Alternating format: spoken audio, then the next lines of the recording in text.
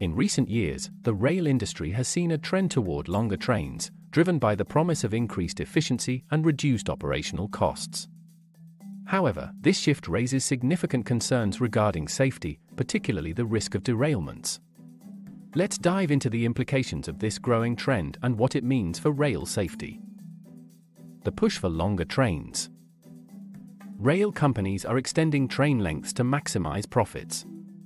Longer trains can transport more cargo in a single trip, cutting down on fuel costs and reducing the number of trips required.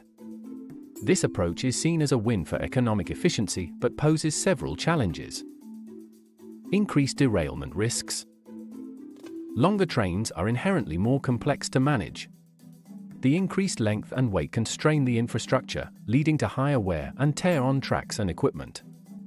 This added stress can increase the likelihood of mechanical failures, which are a common cause of derailments. Challenges in train handling.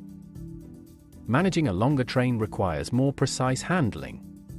Engineers must be adept at controlling the train's speed and braking, as longer trains respond differently compared to shorter ones. Mismanagement in handling can result in derailments, especially on curves or uneven tracks. Infrastructure strain the existing rail infrastructure in many regions is not designed to accommodate significantly longer trains. Tracks, bridges, and tunnels may not support the additional length and weight, leading to potential safety hazards. Upgrading infrastructure to handle these longer trains is costly and time-consuming, often lagging behind the pace of train length increases. Emergency response complications in the event of a derailment, longer trains pose additional challenges for emergency responders. More train cars can mean a larger area affected and more resources needed to manage the situation. This can delay response times and complicate rescue and cleanup efforts, potentially increasing the severity of derailment consequences.